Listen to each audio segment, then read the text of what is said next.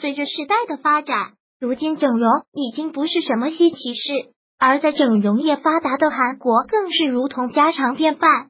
不是人人都天生拥有一副好皮囊，许多明星为了张晋好看，都会选择整容。然而变漂亮后，竟还有这样的困扰。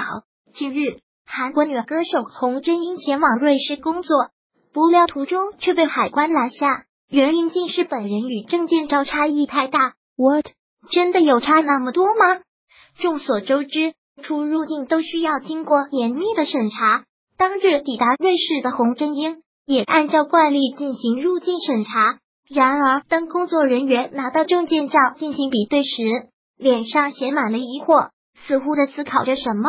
一旁的洪真英看出了工作人员的心思，竟大方坦诚道：“因为我做了脸部升级，所以有些不一样。”随后，海关终于放行，洪真英也顺利入境。小姐姐也是 real 耿直了，叔很佩服你这样的勇气。其实这也不是洪真英第一次承认整容了，在早前录制综艺节目的时候，他就大胆承认自己整容的事实，并表示自己一共整了三次，动了两个部位，甚至还公开了自己为整容前的学生时代照片。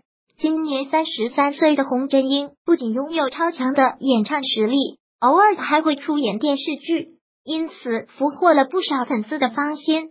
除此之外，他竟还拿下了贸易学博士学位，真应了那句话：不想当学霸的演员不是好歌手。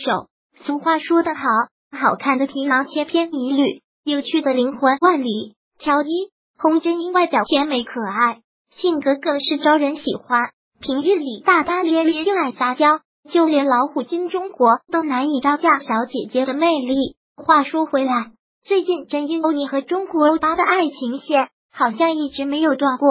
不过，两人也都坦诚对方只是好朋友。无论如何，在此还是希望他们都能早日遇到那个对的人呀。